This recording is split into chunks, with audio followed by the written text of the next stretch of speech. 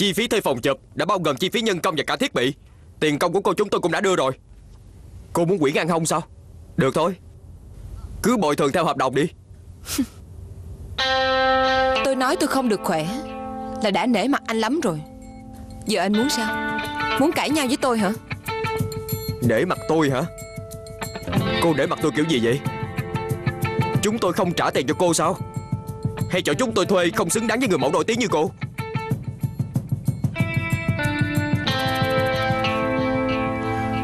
Những tấm hình chúng ta đã chụp sáng nay. Các người đã xem qua chưa? Thật ra Tôi không muốn làm mất mặt bạn học cũ. Nhưng những thứ mà bạn học cũ đã chụp Tôi không hài lòng. Đây đều là những bức ảnh có chất lượng rất là tốt. Cô không hài lòng.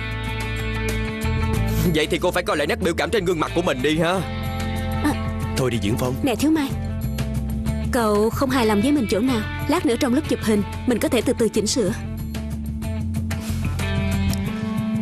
Tôi là Tiêu Tiêu đó. Từ từ chỉnh sửa. Tôi e là không có thời gian. Hơn nữa Tôi cũng không muốn làm lãng phí thời gian của chính mình. Nếu tôi nhớ không lầm Thì cậu học ngành hóa học mà. Phải. Vậy thì đúng rồi. Khải Văn Tại sao anh lại tìm một nhiếp ảnh gia không chuyên nghiệp tới chụp cho tôi vậy? Mình đã học ở nước ngoài. Nước ngoài? Cứ có kinh nghiệm ở nước ngoài Là có thể mang ra hù người khác sao? Không phải ai cũng đủ tư cách chụp hình cho tôi đâu. Cô vừa vừa phải phải thôi nha. Cô xấu tính thì cũng phải có chừng mực chứ. Cô ấy là nhiếp ảnh gia được tuyển dụng chính thức của tạp chí chúng tôi. Cô không muốn chụp nữa Thì cũng không nên công kích người ta như vậy chứ Hay là về? Chúng ta hẹn hôm khác nha. Diễn Phong Nếu tôi nhớ không lầm thì trưa mai Chúng ta có một buổi chụp nữa mà. Hay là chuyển thành chiều hôm nay đi. Vậy thì phòng chụp này sẽ không bị trống nữa. Không được đâu. Bên biên tập họ hối gấp lắm rồi. Trước cuối tuần phải hoàn thành cho xong ảnh bìa đó. Cuối tuần Hình như cuối tuần chúng tôi không có thời gian. Tiêu tiêu Cô cố ý gây chuyện có phải vậy không? Được Cô nói dựa theo hợp đồng. Vậy chúng ta mang hợp đồng ra đi. Để tôi cho cô coi. Hợp đồng đã quy định rõ ràng về thời gian chụp ảnh đây nè. Cô coi đi.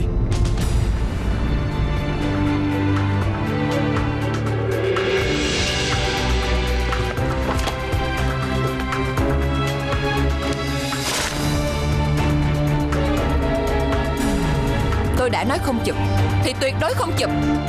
Còn nữa, Nếu anh còn dám động tay động chân với tôi, Thì tôi sẽ kiện anh tội khiếm nhã. Ê, Khiếm nhã gì chứ? Bộ cô bị điên hả? Xé hợp đồng sao? Cô đợi mà làm bị cáo trước tòa đi.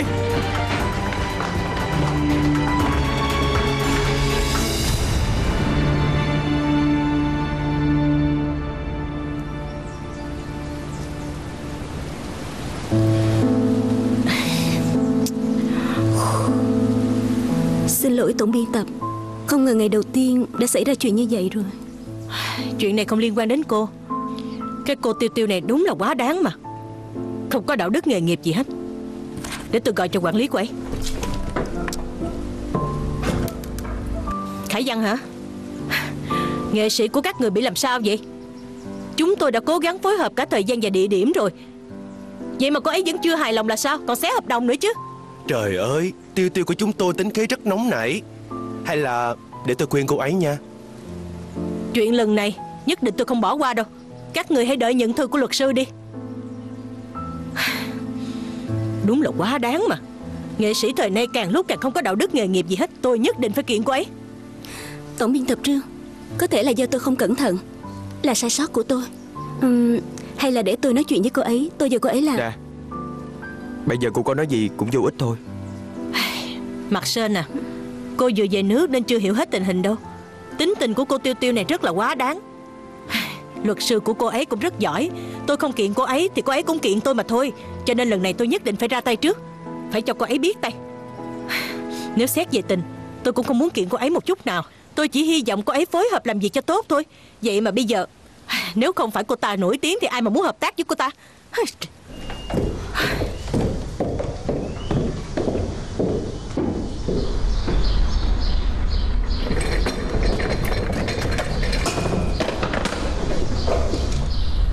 Nè. Cô đừng nói cô và Tiêu Tiêu là bạn học cũ nữa. Lỡ tổng biên tập trút giận lên cô thì sao? Nhưng nếu tôi gọi điện cho cô ấy nói chuyện Thì có thể sẽ hòa giải được. Như vậy không phải là tốt hơn sao? Được. Cô vẫn kiên quyết đúng không?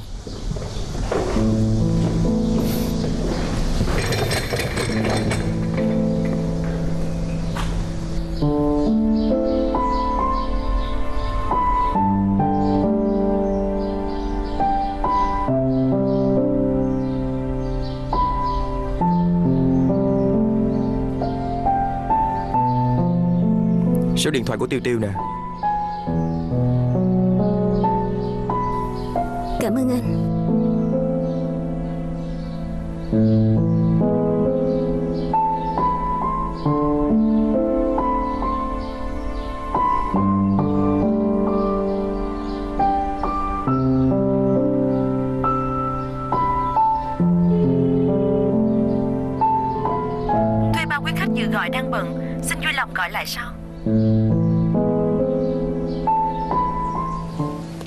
Bọn họ. Người xé hợp đồng là em. Bây giờ em nên sợ người ta kiện em mới phải. Sợ gì chứ? Có anh rồi em còn sợ thua sao? Cảm ơn em đã tin tưởng anh. Nếu anh nhớ không lầm thì Đây là lần thứ năm trong năm Người khác muốn kiện em. Chuyện lần này là sao? Anh biết để làm gì? Em không muốn chụp nữa thôi Nếu như em cứ tiếp tục như vậy Thì có lẽ là năm sau Anh sẽ không làm luật sư đại diện cho em nữa.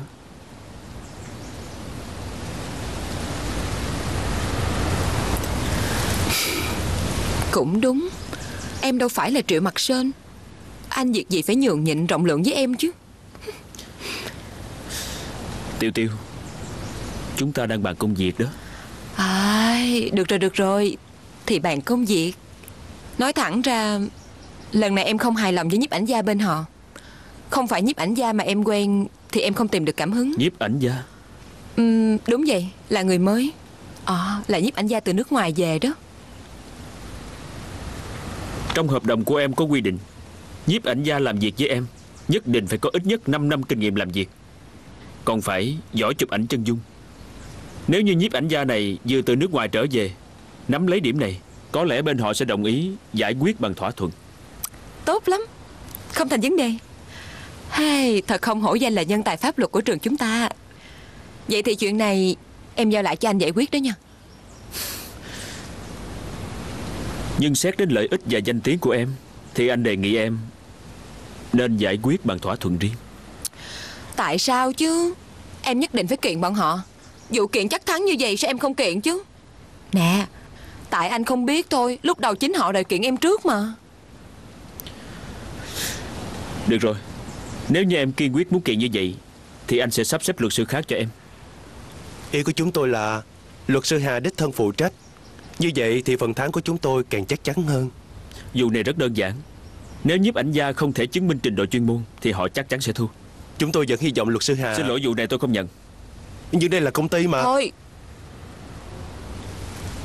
Được rồi. Tùy anh vậy mình đi.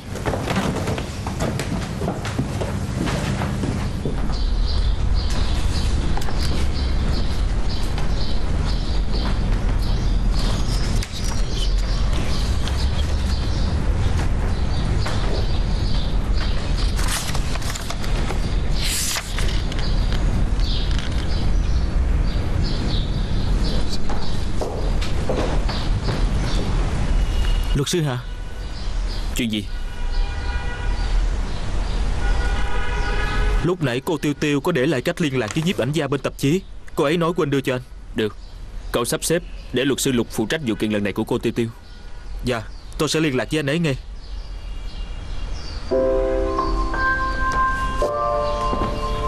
Thôi khỏi đi. Tôi sẽ đích thân phụ trách vụ kiện lần này. Cậu hãy liên hệ với người này đi. Nói với cô ấy Tôi hy vọng cô ta có thể chứng minh với tôi trình độ chuyên môn của cô ấy. Nếu không thì họ sẽ phải bồi thường. Dạ.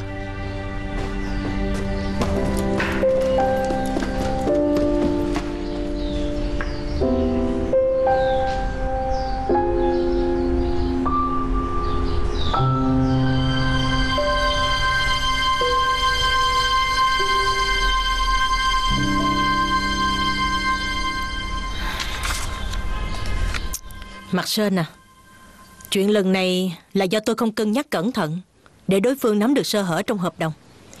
Thật ra chuyện này không liên quan gì đến cô hết đó. Cô chỉ là thay lộ diễn phong đi giải quyết mà thôi. Nhưng mà Cô biết không luật sư của đối phương thật sự rất giỏi. Anh ta muốn cô mang theo các tác phẩm và bằng cấp chuyên môn Đến gặp anh ta để nói chuyện cho rõ ràng. Không sao đâu à, ờ, Đây là công việc đầu tiên của tôi. Tôi đã nhận công việc này. Thì sẽ chịu trách nhiệm đến cùng. Cảm ơn cô. Cô đúng là một nhân viên tốt. À hay là vậy nha. Lát nữa tôi sẽ kêu người gửi địa chỉ văn phòng luật sư cho cô nha. Anh ta đã hẹn cô 3 giờ chiều mai gặp mặt đó. Buổi sáng không cần đi làm nữa. Cứ ở nhà chuẩn bị tài liệu cho tốt là được. Dạ.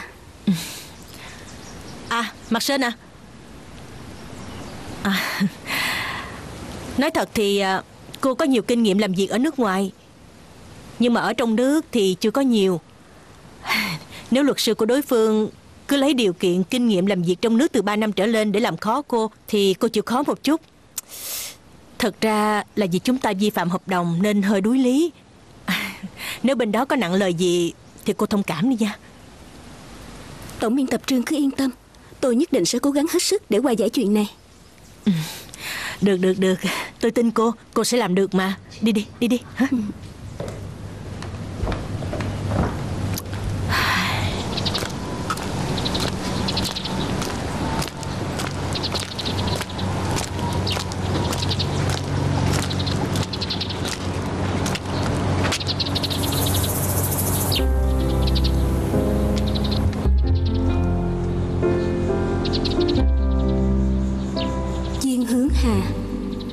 Là tên những người hợp tác sao? Hà. Ở đây cũng có luật sư họ Hà sao?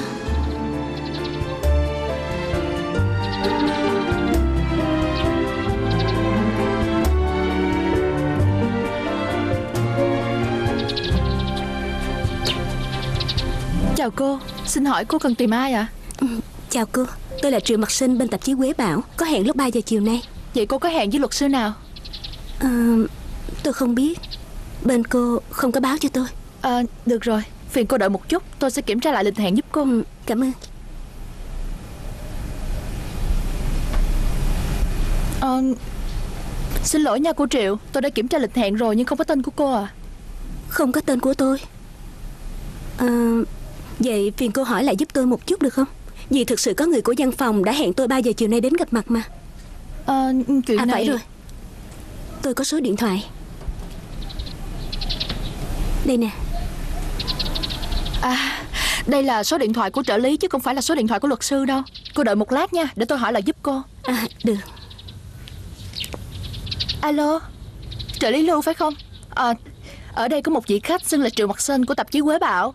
Cô ấy nói là có hẹn với luật sư của văn phòng chúng ta vào lúc 3 giờ chiều nay. Anh có ghi lại lịch hẹn không?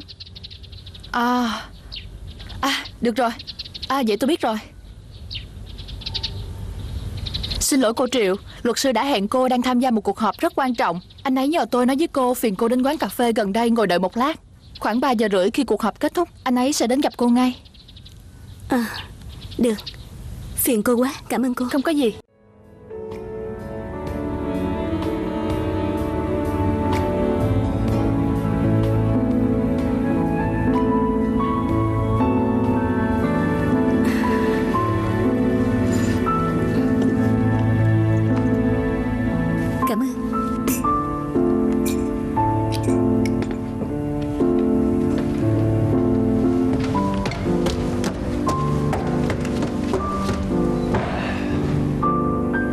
luật sư à Tan ca rồi. Cậu cứ về trước đi. Cậu còn bận việc sao?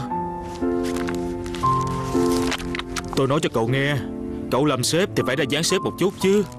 Cậu cứ tăng ca như vậy Làm mấy luật sư cấp dưới không dám về kìa. Tôi có hẹn rồi. Có hẹn? Là ai? Ai mà quan trọng vậy? Tối nay tôi đã đặt một bàn trên tàu bao rồi. Là khách hàng Khách hàng sao?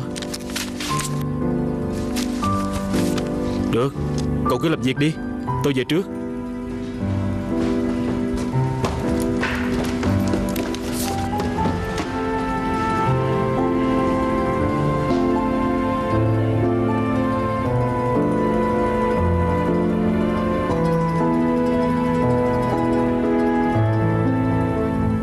Cô à Xin hỏi cô cần dùng gì nữa không?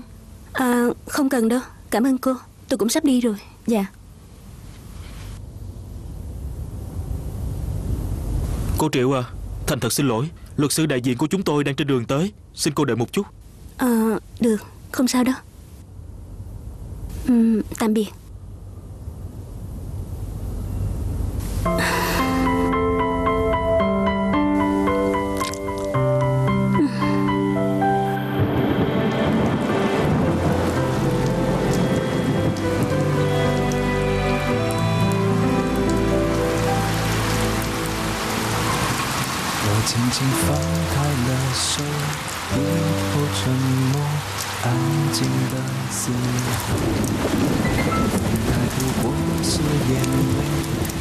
是停留在我的眼眸。从今后你的难过不再有我，是否忘记我？在一万次你回过头，会发现还有我。陌生的问句总是来不及代替我的不安着急。这一场游戏，没有人犹豫，让我绰绰有余。 Luật sư Hà Cô Triệu vẫn đang chờ Nên xử lý thế nào đây Câu hỏi cô ấy Cảm giác đợi chờ ra sao Dạ Thôi đừng hỏi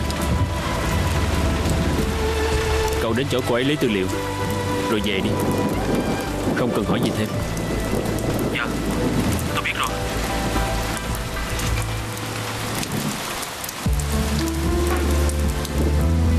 Xin hỏi cô là cô Triệu phải không? À, Chào anh. Luật sư kêu tôi đến đây gặp cô lấy tư liệu. À, Tất cả đều ở đây nè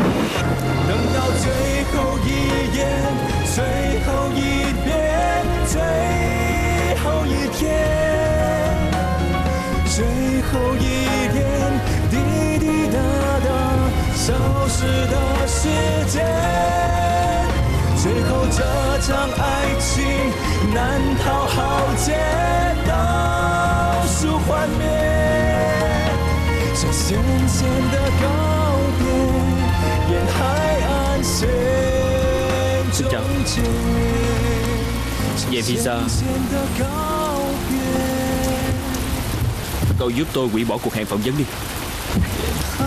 Đúng. Quỷ luôn đi. Thời gian này tôi sẽ không đi Mỹ.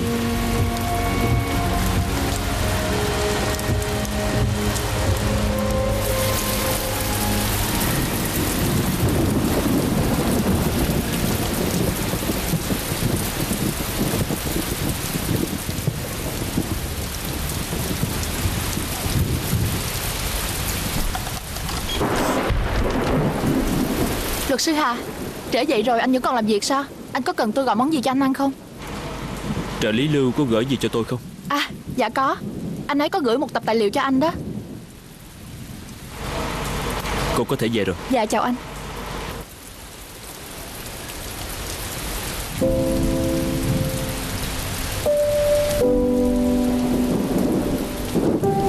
Sao nghe đến tên mình mà em cũng có thể viết xấu như vậy chứ? Xấu đâu mà xấu Em viết tên mình xấu như vậy Thì sao anh dám đưa em đi gặp mọi người được chứ?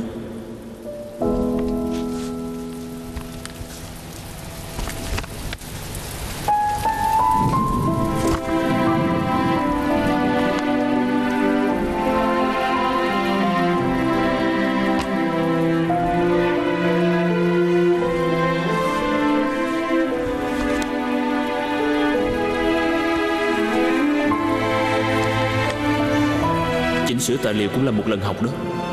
Cho nên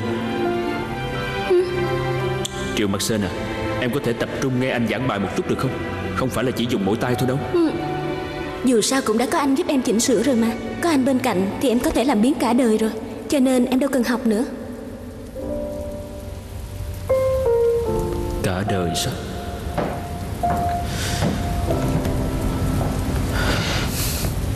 Sao em lại tới đây Em vừa tan ca Tiện đường tới thăm anh luôn. Còn làm việc sao? Còn chút chuyện chưa giải quyết xong. Việc gì mà không thể để tới ngày mai giải quyết? Giờ anh đã là ông chủ rồi Sao vẫn phải bán mạng như trước? Anh quen rồi. Được rồi Em biết anh là người cuồng công việc Nói gì cũng vô dụng hết. Hôm nay em đến đây là có việc cần nhờ đại luật sư giúp đỡ.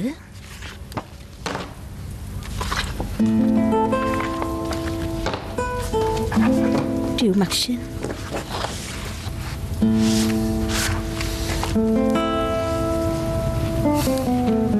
Muốn anh giúp gì?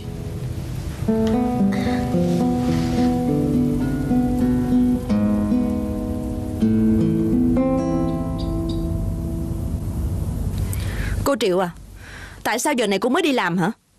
Cô không biết hôm nay tất cả mọi người trong tòa soạn đều phải tăng ca hay sao? Ờ, Hôm nay tôi phải đem một số tài liệu quan trọng tới văn phòng luật sư. Đưa tài liệu thôi mà cũng lâu vậy hả Bởi vì hôm nay vì luật sư đó bận họp không đến cho nên Tôi không muốn nghe lý do gì nữa. Cũng nhờ phúc của cô mà bị báo số tới chẳng đâu vào đâu hết.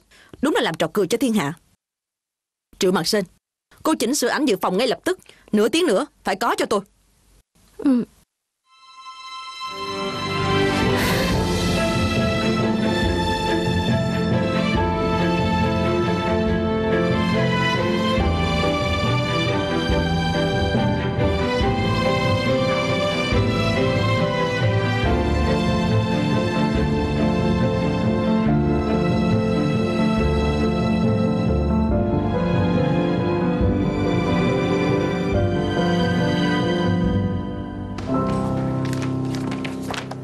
Chủ biên văn Đây là tài liệu chị cần. Ừ. Chủ biên văn Mấy tấm này tôi vừa chỉnh xong.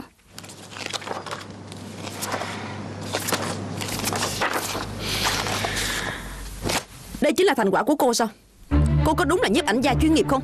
Màu sắc chẳng ra làm sao. Tôi cần màu sắc phải tươi sáng Phải thật bắt mắt. Cô hiểu không hả? Nhưng chủ đề kỳ này của chúng ta là tự nhiên Cho nên tôi cảm thấy Đừng có nói chủ đề với tôi Nhờ có nhiếp ảnh gia giỏi như cô, Mà trang bị tạp chí vẫn còn đang để trống, Chỉ có thể dùng đỡ mấy tấm ảnh dự phòng này. Vì cô mà mọi người phải tăng ca đó, cô thấy chưa?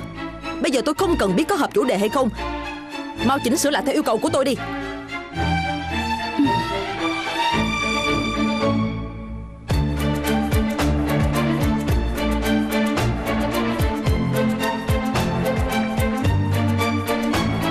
Chị có thể phiền anh tới đây một chuyến có được không? Vậy không được sao? Tôi hiểu rồi. Cảm ơn Phi à Hả, Dạ Tôi kêu cô liên hệ với mấy người quản lý sao rồi. Tôi đã liên hệ với hầu hết các quản lý Nhưng họ đều nói là không có thời gian. Tôi cũng vậy Bởi vì gấp quá cho nên không ai thu xếp được hết. Tôi cũng đã gọi hết rồi nhưng đều không liên lạc được. Không được. Trang phục trong mấy bức hình dự phòng không phải kiểu thịnh hành của mùa này. Tốt nhất là chúng ta nên chụp lại Để các tòa soạn khác nhìn thấy sẽ thành trò cười đó Đúng vậy nhưng mà bây giờ chúng ta không còn thời gian nữa đâu chủ biên văn Cho nên à. chúng ta phải chuẩn bị hai phương án. Không cần liên hệ với người mẫu nữa. Liên hệ với người quản lý của một số diễn viên. Những người có phim điện ảnh hoặc truyền hình gần đây đang được yêu thích. Những ngôi sao đang quảng bá hình ảnh sẽ có khả năng đồng ý lên trang bìa hơn. Nhưng mà gần như đã gọi hết tất cả rồi. Đúng vậy đó Thật sự không kịp đâu. Vậy hai tháng tới có ai cần quảng bá không? Nửa năm tới có phim nào mới không hả? Mau tìm lại một lần nữa đi. Được rồi đi thôi. Đi thôi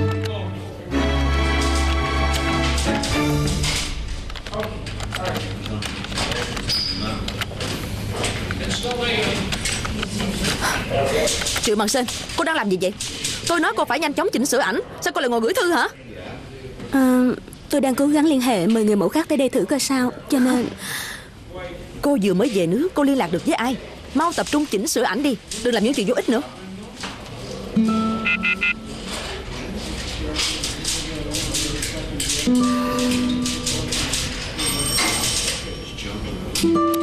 Nè Cô thử nghĩ đi.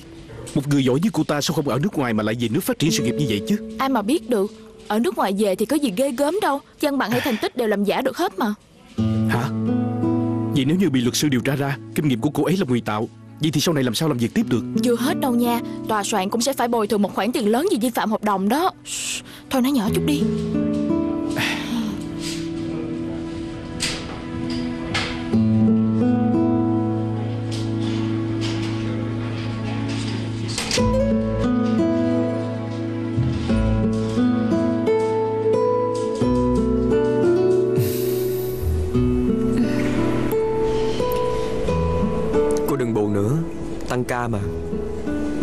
trạng mọi người không vui Cũng là chuyện thường tình thôi.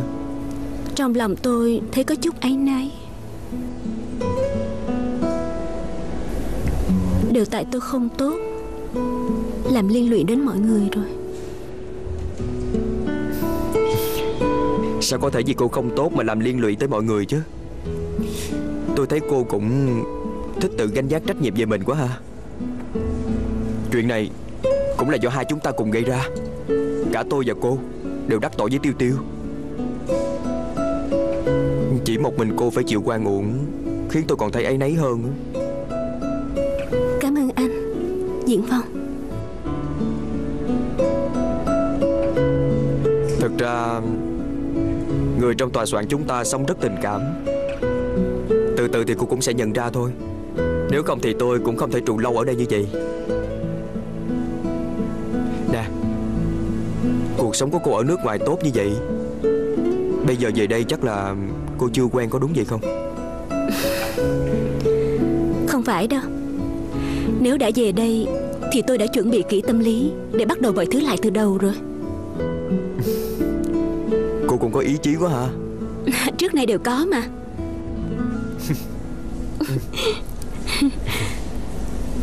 À phải rồi Diễn Phong. Ừ? À anh có biết Ở xung quanh đây có quán ăn đêm nào ngon không?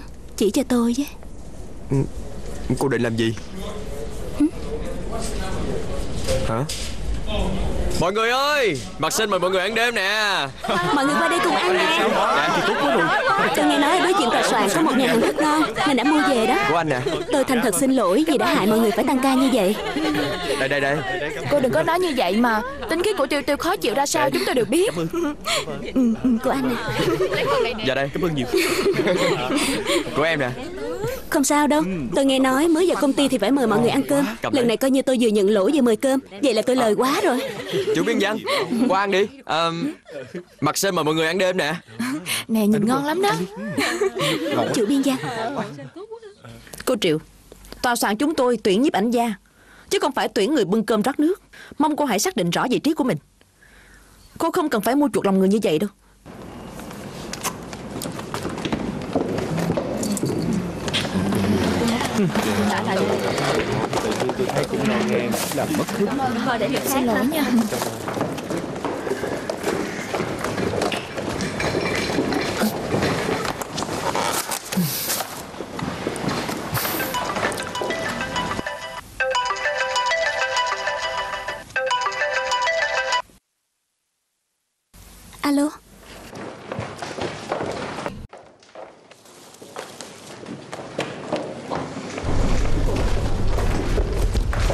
Chủ biên văn Có chuyện gì? Nếu không thể liên hệ với người mẫu trong nước Liệu người mẫu nước ngoài có được không ạ?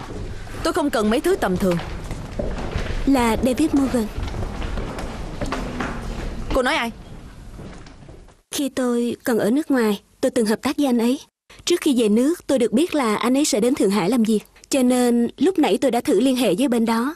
Nếu tòa soạn chúng ta nhất trí Họ đồng ý sẽ dành cho chúng ta 2 tiếng đồng hồ vào chiều ngày kia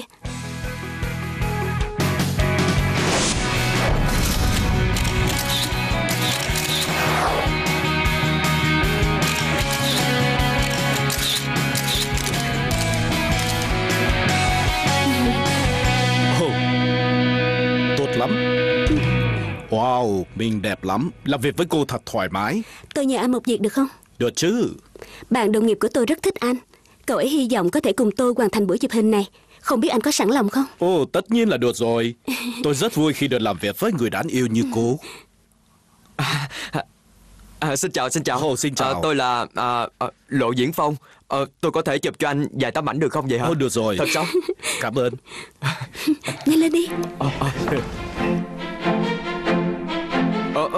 Đầu thôi. Tốt, tốt lắm, tốt lắm.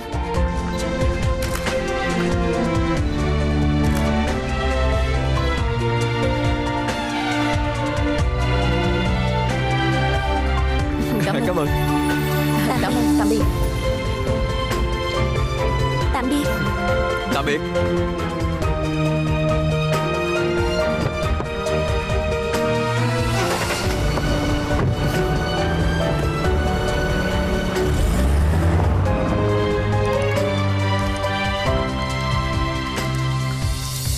Yes. Hôm nay tôi đã được chụp ảnh cho David Morgan. Quá đã luôn. Ừ, Chủ biên Giang Sao chị vẫn còn nhăn nhó vậy? Vấn đề đã được giải quyết rồi mà.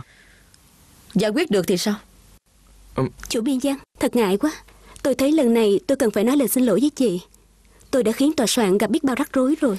Đúng là cô nên nói lời xin lỗi. Đừng tưởng rằng mời được David Morgan là mọi chuyện ổn thỏa Chi phí cho hai buổi chụp hình. Cách xe cho David Morgan không rẻ đâu.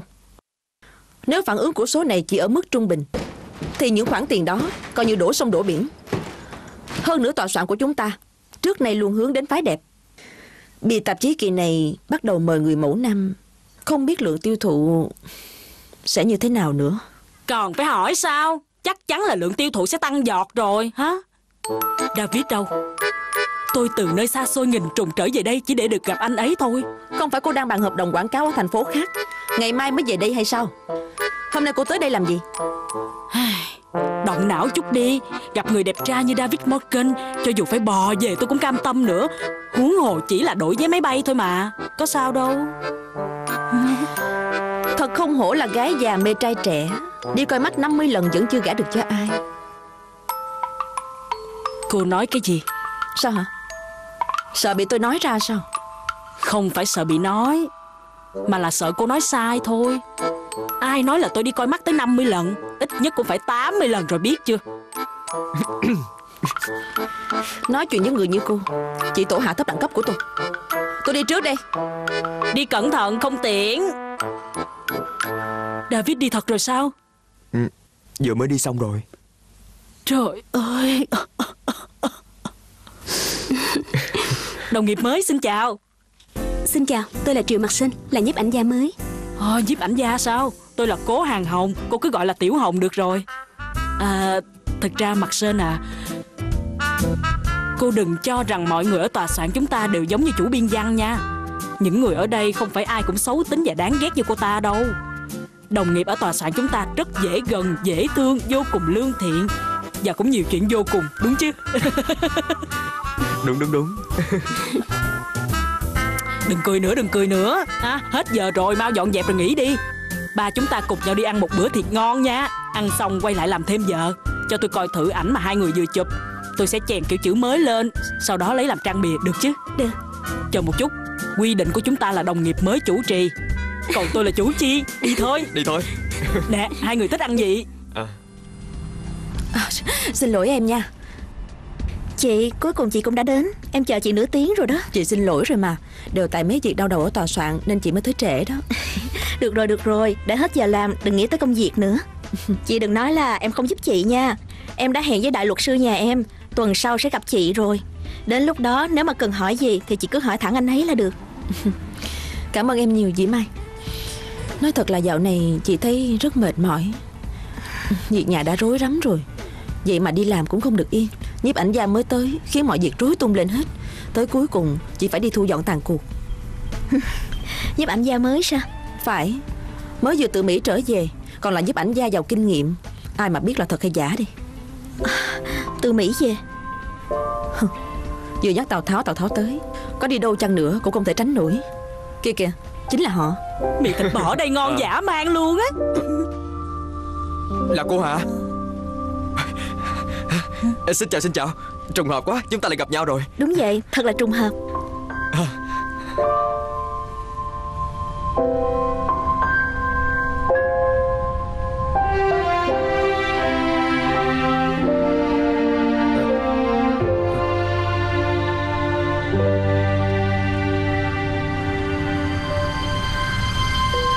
Mặt Sơn, Cô mới từ Mỹ về sao? Vụ kiện đó của em Vẫn giữ ý định cũ. Kiện ra tòa luôn đúng không?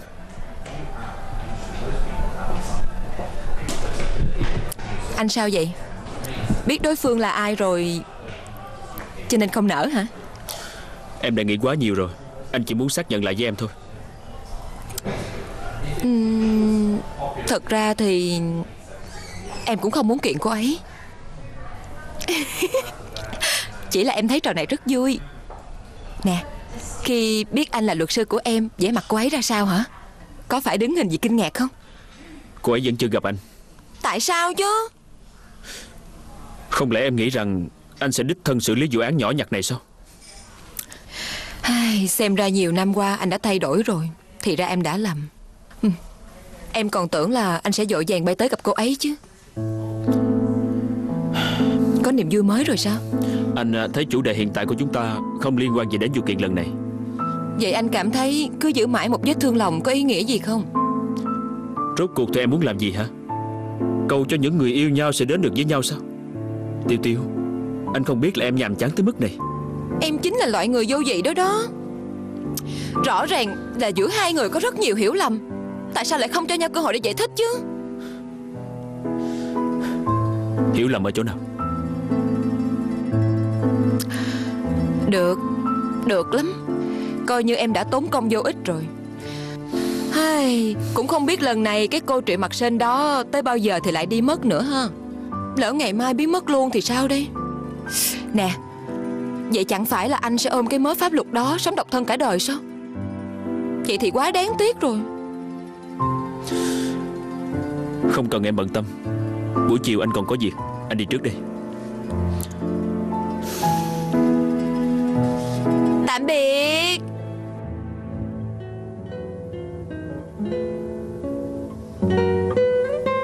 Em không tin Anh có thể quên được cô ấy.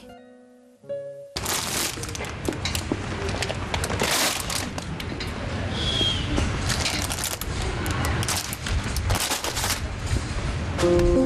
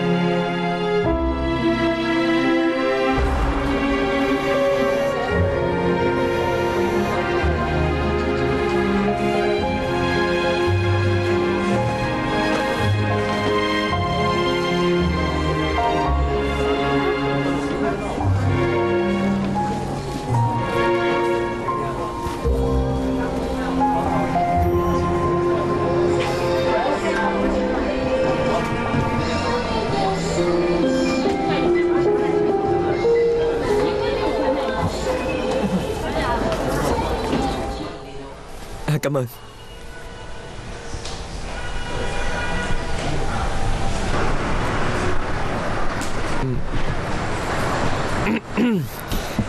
À Vậy bữa cơm hôm nay để tôi mời đi.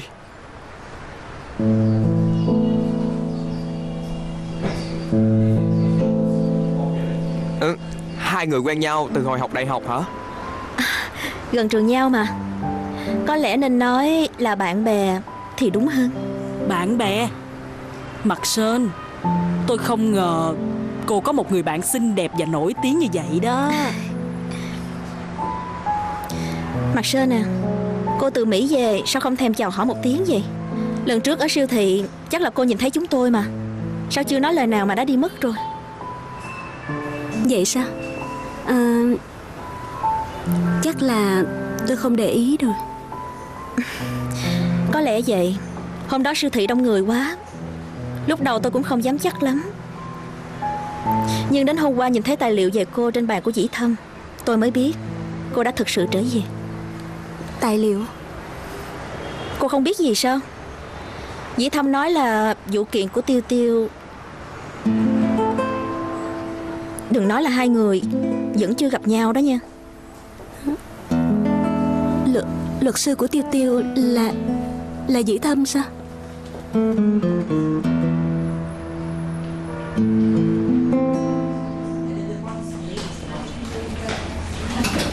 Mặt Sơn à Cuối cùng thì vị luật sư đó có tìm cô không?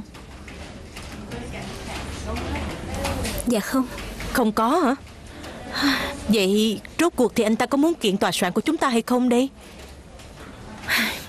Vậy vị luật sư đó nói gì? Anh ấy không gặp tôi. Sao chứ Không gặp luôn. Vậy Vậy cô đã gặp ai? Anh ấy cử trợ lý tới. Ôi trời ơi. Vị luật sư này cũng hay thiệt. Giống hệt tính tiêu tiêu Kiêu ngạo y như nhau. Được rồi. Vậy thì anh ta thích làm gì? Chúng ta sẽ làm theo hả? Mặt trời vẫn mọc ở hướng đông mà. Mặt Sơn à Nhiệm vụ chính bây giờ á, là làm thật tốt việc tuyên truyền cho tạp chí kỳ này. Chọn một ít ảnh của David Morgan Để đăng lên báo điện tử Có nhớ chưa? Hả? Những việc khác cô không cần bận tâm đâu. À, Được rồi đi làm việc đi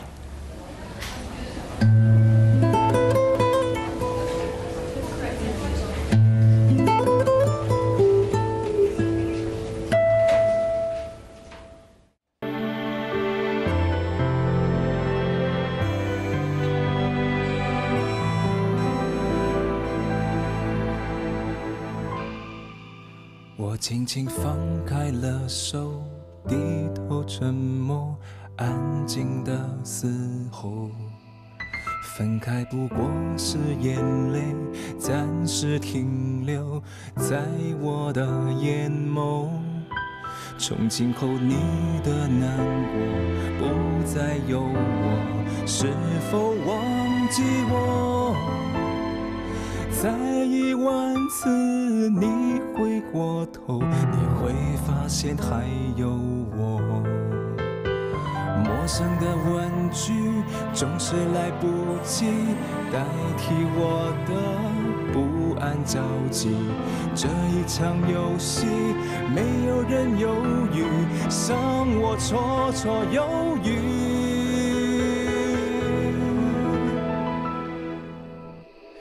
等待最后一，最后一遍，最后一天，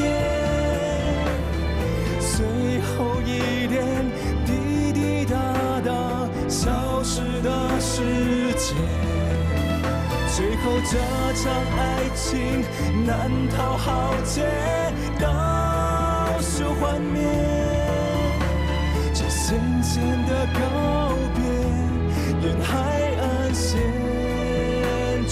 最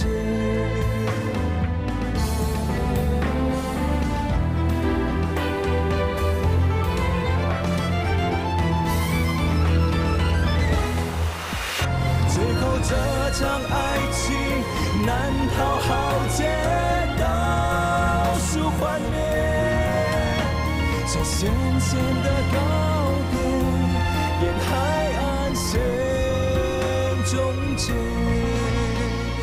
浅浅的告别，